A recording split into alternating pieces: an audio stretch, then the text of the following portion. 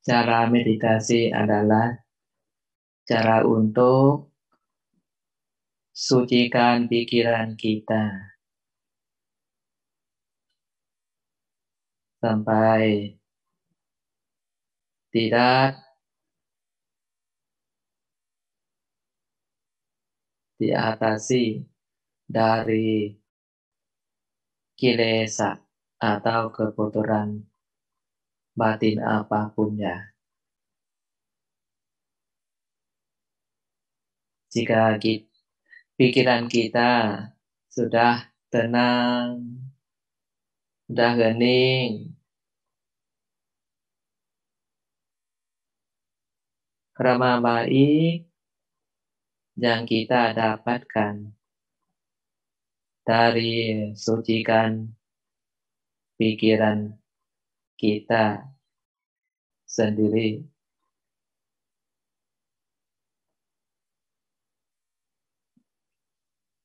Jadi mulailah dengan posisi meditasi yang sesuai.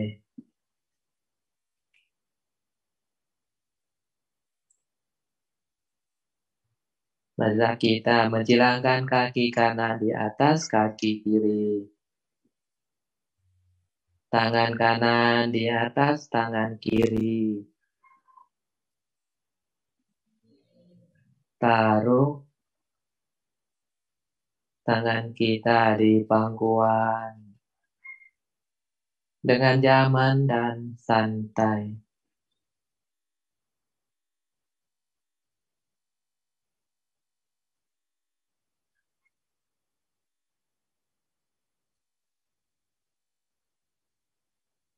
Otot-otot pada tubuh akan di relax, disantaikan.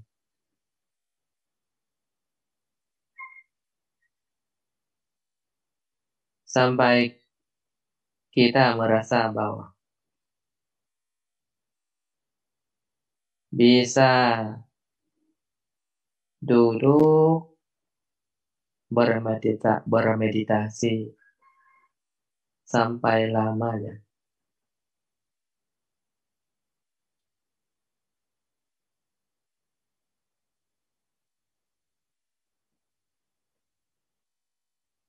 Lepaskan semua beban. Lepaskan semua kekhawatiran. Lepas kecemasan semuanya.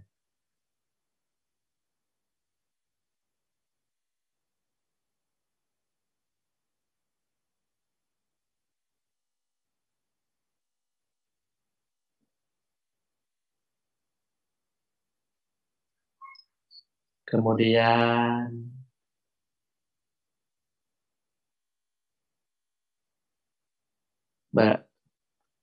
Lahan-lahan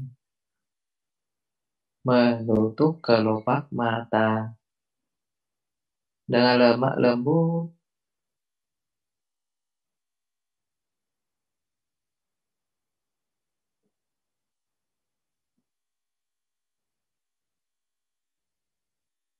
kembalikanlah pikiran yang sering-seringlah berjalan di mana pun, ke mana pun, ke pusat ya. Di pertengahan tubuh, yaitu titik pertemuan. Dua tali yang direntangkan. Dari pusar ke punggung pinggir kanan ke kiri. Bayangkan bahwa titik tersebut terdapat bola kristal yang jernih, bening, jernih, bening,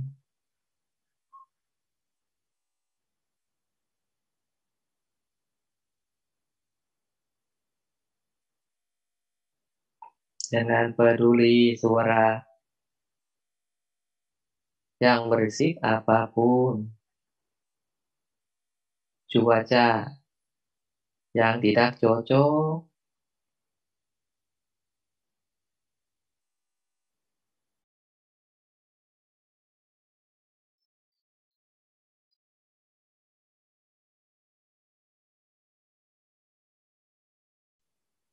yang kita akan peduli adalah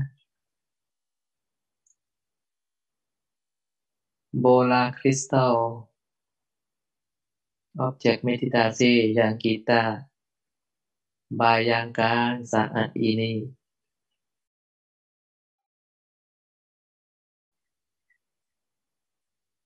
Dengan objek meditasi ini akan menolong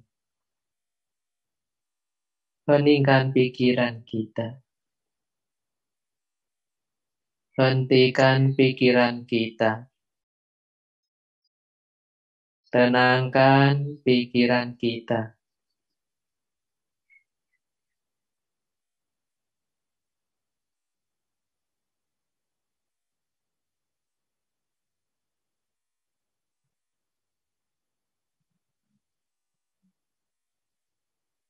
Jika pikiran kita sudah hening, sudah henti,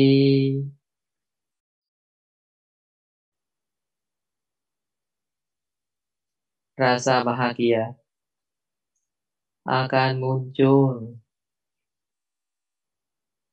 dari dalam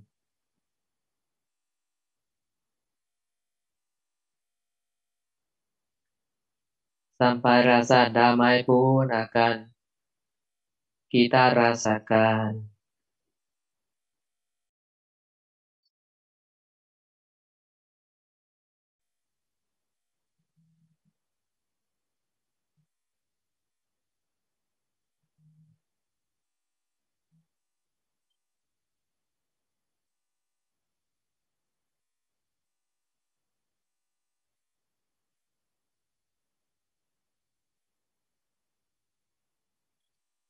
Ucapkanlah mantra.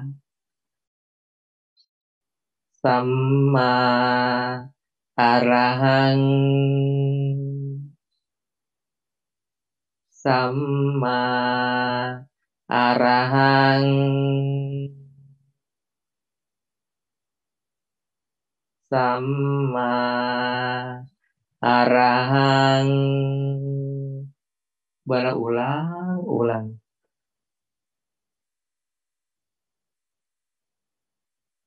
dari dalamnya.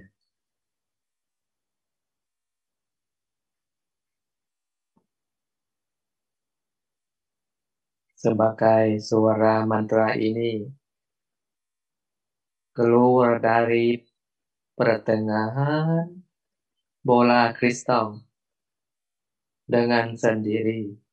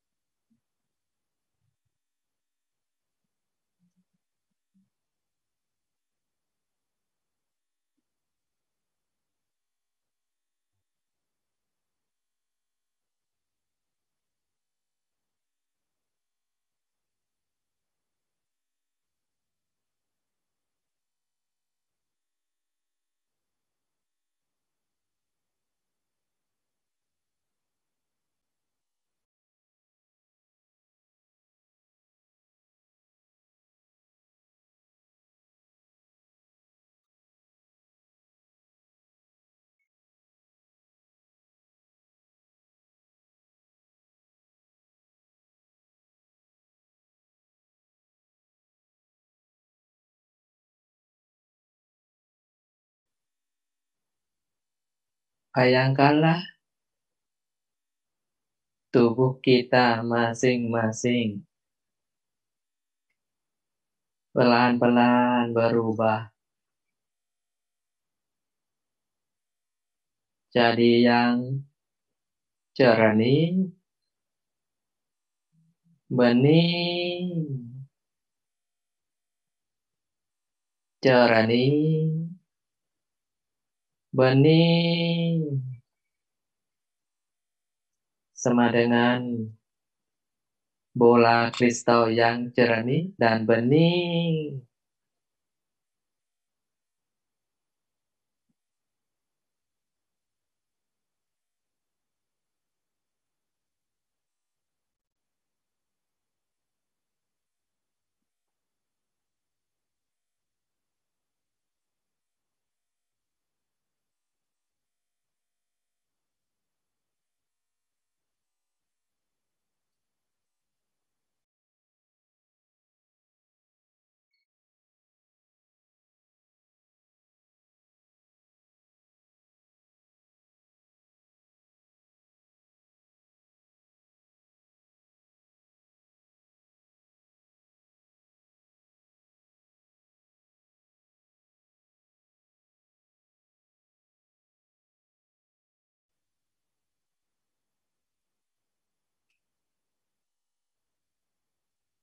Jika muncul rasa damai,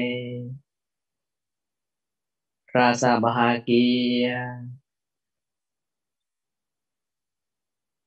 dari pertengahan tubuh,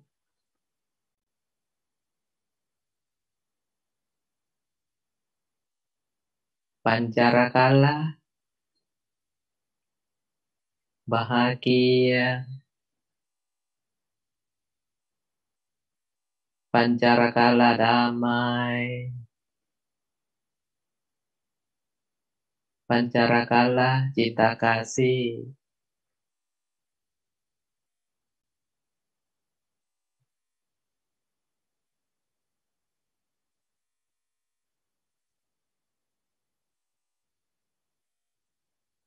untuk semua rakyat Indonesia akan berbahagia.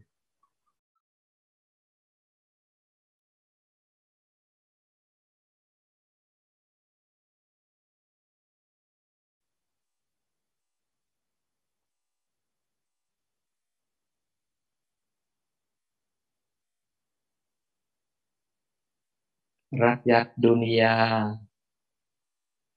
akan berbahagia juga.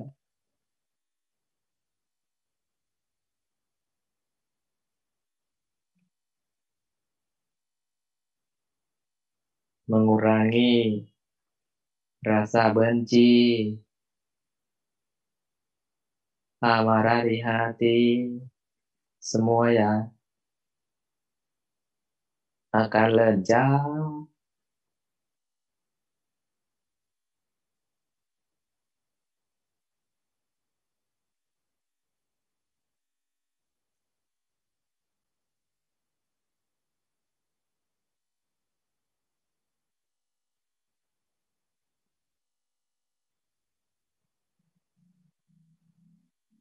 penyakit COVID-19,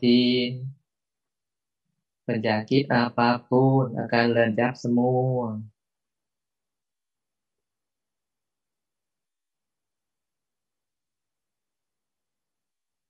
Bencana apa pun dari alam atau manusia akan lejak semua ya.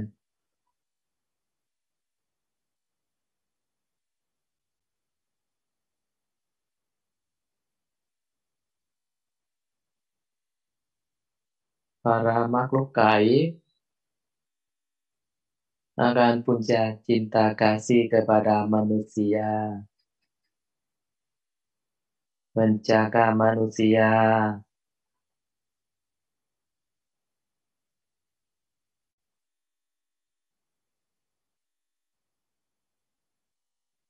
lencapkan bencana alam apa pun.